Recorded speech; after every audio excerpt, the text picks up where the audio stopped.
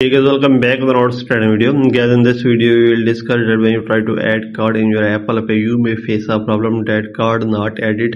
Contact your card issuer for more information. So how can you fix it? So guys, we can fix it very easily. So simply guys, you may just go back and first of all guys, you may just open the settings of your iPhone, iPad or any other iOS gadget and guys you make sure that you have an active internet connection. After this guys there's the option of VPN if there is any connected VPN you may disconnect that. Then you may click here on general. And here the option of software update and update your iPhone or iPad to the latest iOS version.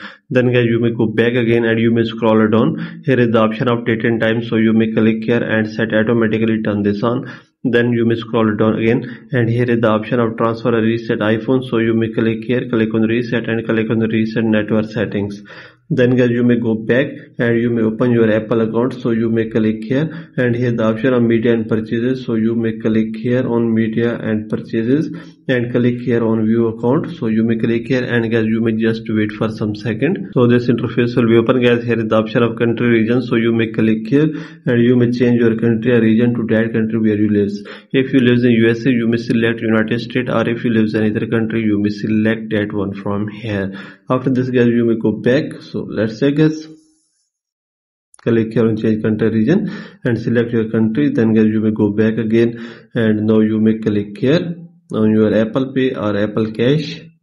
So click here on wallet.